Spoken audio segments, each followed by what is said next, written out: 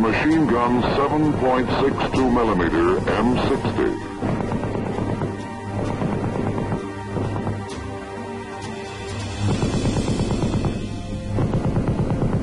It is an automatic weapon.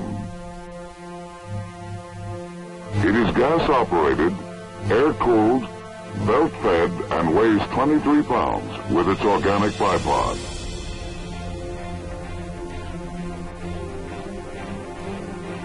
Gun has a maximum effective range of 1100 meters and a muzzle velocity of 2,750 feet per second. It is fed from a disintegrating belt. The M60's cyclic rate of fire is approximately 550 rounds per minute. Its sustained rate of fire is 100 rounds per minute, and at the rapid rate, 200 rounds per minute. The caliber of the gun and the 7.62 millimeter ammunition conform in all respects to standards adopted by the North Atlantic Treaty Organization. The gun fires three types of ammunition, ball, tracer,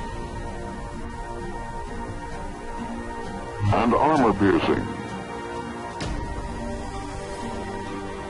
It is linked for field use in a ratio of four ball, one tracer.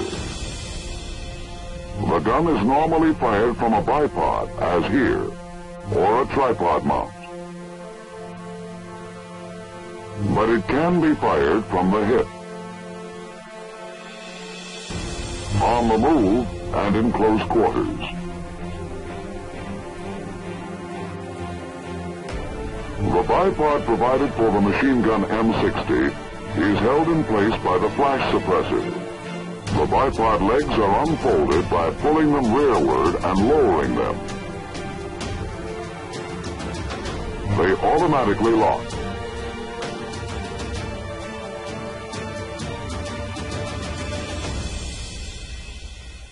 The bipod legs are extended by pulling down on the bipod feet.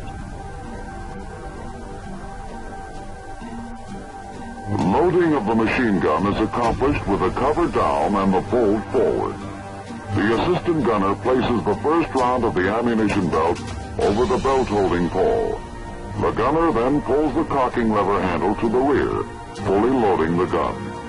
The cocking lever handle is moved forward and the gun is ready to fire. The gun is aimed by means of front and rear sights. The front sight is of a fixed blade type.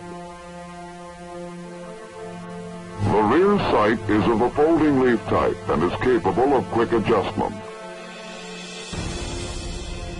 Range settings are made by moving the rear sight slide up or down.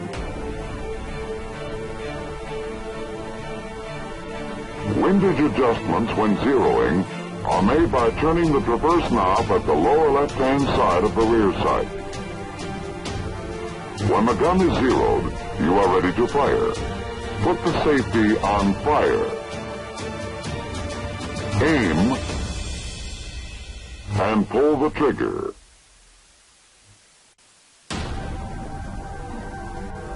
The gun will continue firing as long as the trigger is held back or until the ammunition belt is exhausted. The M60 is fully automatic. Short bursts can be fired if the trigger is released after each burst.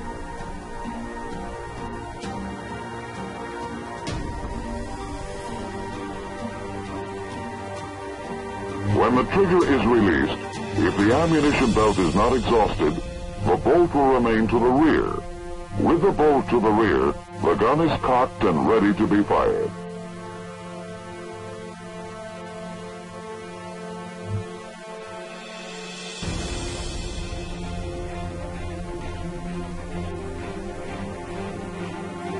To unload the gun, the gunner opens the feed cover and the assistant gunner removes the belt from the feed well. Close the feed cover and let the bolt move forward by pulling the trigger.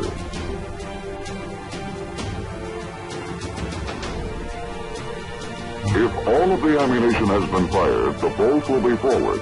The chamber will be empty. Before reloading, the gunner raises the cover, knocks the remaining link from the feed plate, pulls the bolt to the rear, closes the cover, and allows the bolt to go forward. He then reloads.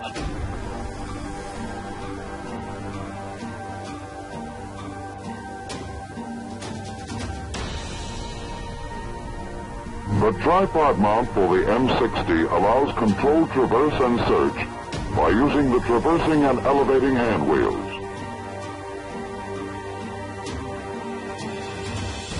Each gun has a spare barrel group.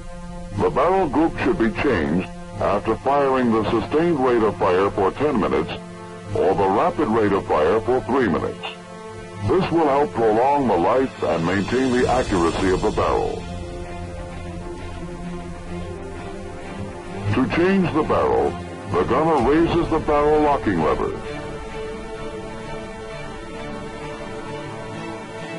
The assistant gunner withdraws the barrel by grasping the bipod legs and inserts the new barrel into the receiver.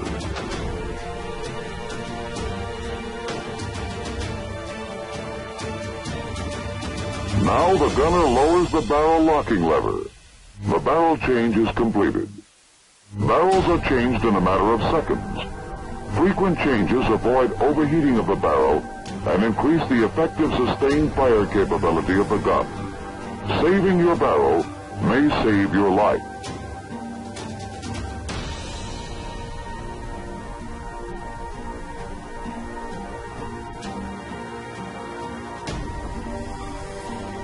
The machine gun breaks down into six groups for general disassembly in the field. Number one, the buttstock group. Number two, the buffer group, consisting of the buffer and the proper locking plate. Number three, the operating group, which includes the operating rod, the bolt, the operating rod drive spring,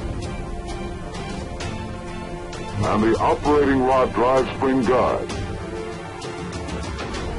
Number four, the trigger housing group, consisting of the trigger housing, the spring lock,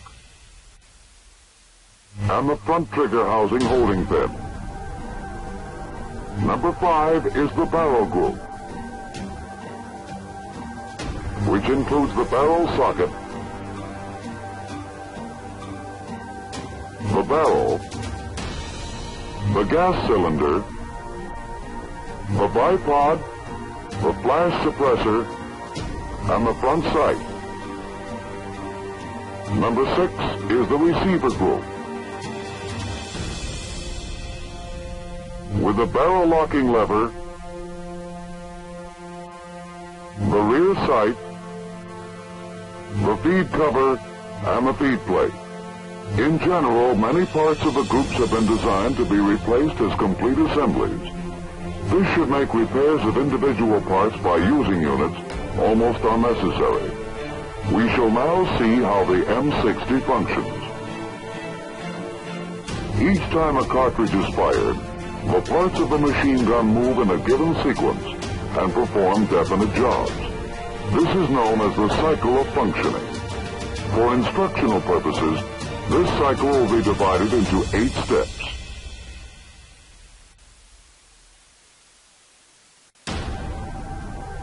First step is feeding, which is positioning the cartridge ready for chambering. The second step is chambering, the function of seating the round in the chamber.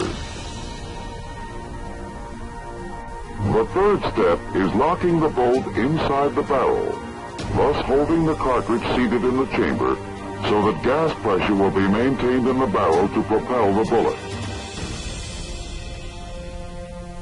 Fourth step is firing, ignition of the primer of the cartridge in the chamber. Step 5 is unlocking the bolt from the barrel. Step 6 is extraction of the empty cartridge case from the chamber. In step 7, the empty cartridge case is ejected from the gun. And step 8 is cocking. These eight functions happen one after another and so rapidly as to be almost simultaneous. The cyclic rate of fire of the M60 machine gun is approximately 550 rounds per minute. This means that a bullet leaves the muzzle each tenth of a second while the gun is being fired. With the help of an oversized model, we'll be able to see exactly what goes on inside the gun.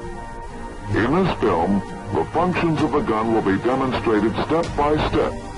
But remember, in actuality, these occur very fast and overlap each other.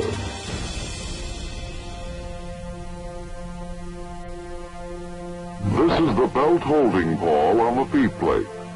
Feeding begins when the first round is positioned over the pawl. The purpose of the pawl is to prevent the rounds from falling out of the feedway.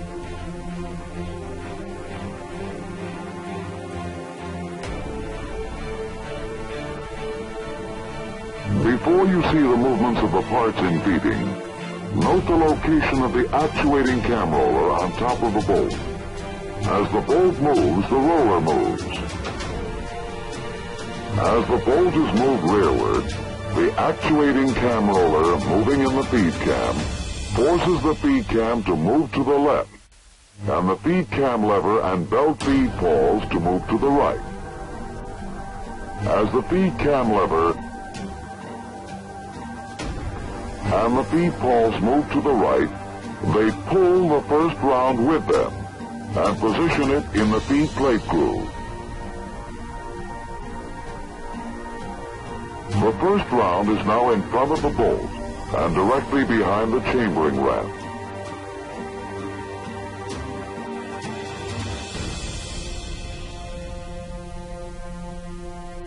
The bolt is carried forward by the operating rod. The actuating cam roller now moves the feed cam to the right. This moves the belt feed pawls to the left. Let's repeat the action. The feed pawls slide over the second round in the belt, and then to the left of the round. The feed pawls will stay here until the bolt moves to the rear. This completes the first step, feeding.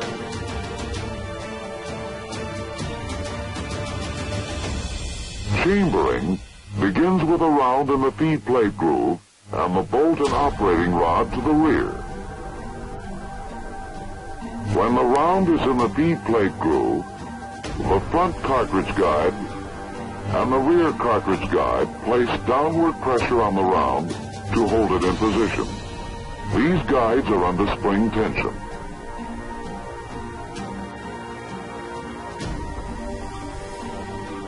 The rear end of the front cartridge guide will block the forward movement of the belt link.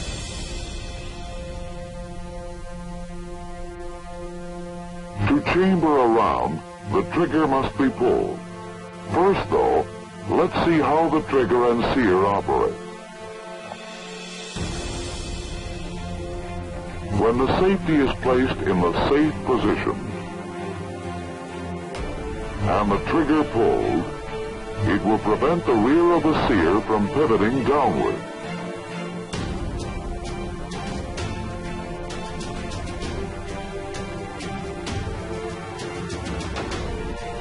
With the safety in the fire position, the rear of the sear pivots downward when the trigger is pulled, releasing the operating rod and allowing the operating rod drive spring to expand. When the trigger housing group is properly attached to the gun and the trigger pulled, the sear disengages from the sear notch. The operating rod, driven by its expanding spring, starts forward.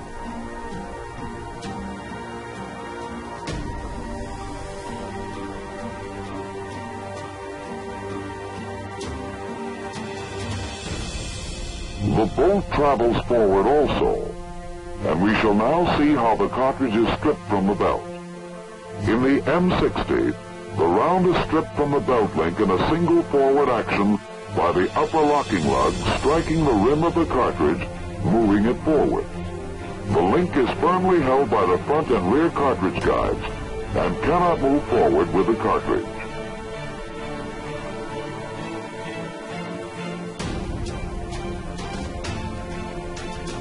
Nose of the round is guided down into the chamber by the chambering ramps.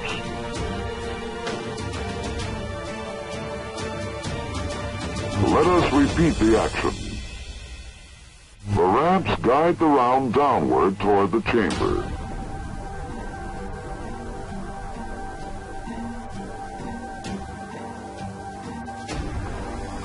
The bolt locking lugs now contact the curved surfaces of the barrel socket. The bolt starts to rotate clockwise. The extractor engages the rim of the cartridge. Chambering is completed. Locking began with chambering. As the parts move forward, the operating rod yoke engaged in the bolt camming slot aids in rotating the bolt in a clockwise direction. The locking lugs engage the locking recesses of the barrel socket. Locking is completed. The next step is firing. The forward movement of the operating rod carries the firing pin forward. The firing pin strikes the primer of the cartridge and ignites the round. Firing has been accomplished.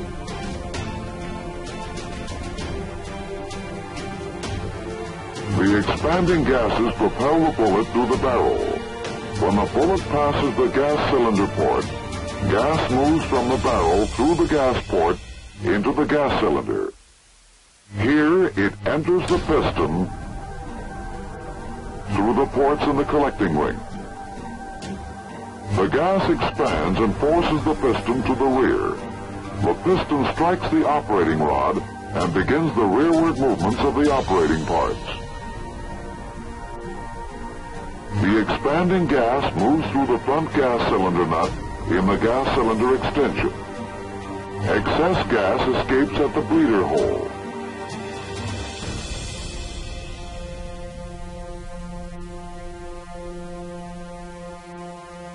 The remaining gas escapes at the gas escape ports at the rear of the cylinder.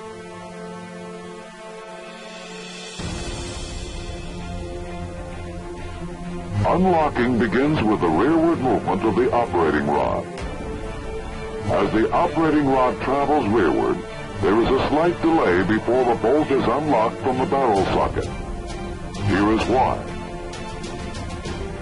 The operating rod has a short period of free travel. As the camming yoke passes through the straight portion of the bolt camming slot. When the camming yoke reaches the curved portion of the bolt camming slot, it forces the bolt to rotate in a counterclockwise direction.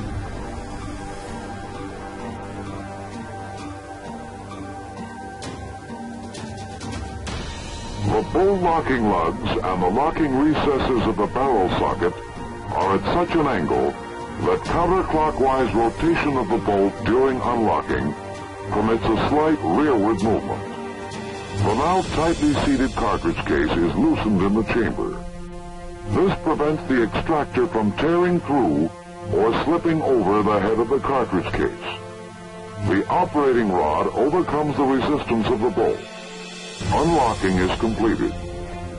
Extracting and ejecting now begin. The empty cartridge case gripped by the extractor is drawn from the chamber. In this view, you see the ejector on the other side of the bolt. It was compressed during chambering and exerts forward pressure on the rim of the cartridge. When the empty case reaches the ejection port in the right side of the receiver, the ejector spins the case from the gun. Ejection is completed. The next round pushes out the link. The firing pin spring is compressed and cocking is accomplished. The operating rod drive spring is compressed. The operating rod drive spring guide is in contact with the buffer plunger. The moving operating rod compresses the spring against the head of the operating rod drive spring guide. The buffer plunger forces the buffer pads rearward against the buffer return springs. The buffer pads expand against the buffer tube body. The pads and springs absorb the rearward energy and the cycle has been completed.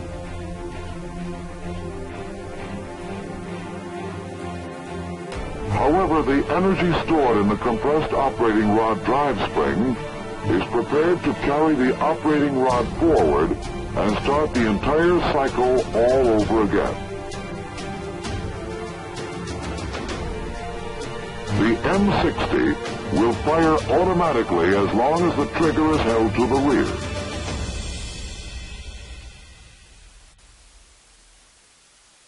When the trigger is released, the rear end of the sear pivots upward and engages the sear notch in the operating rod and fire ceases. The gun has been automatically cocked. The bolt has remained to the rear and is ready to begin the forward movement of the cycle. A round is ready to be chambered. The machine gun 7.62 millimeter M60 is easy to load.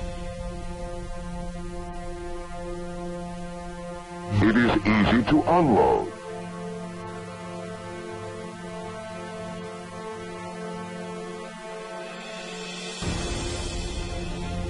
Gas-operated, air-cooled, and belt-fed machine gun that performs its eight necessary functions in very nearly simultaneous actions.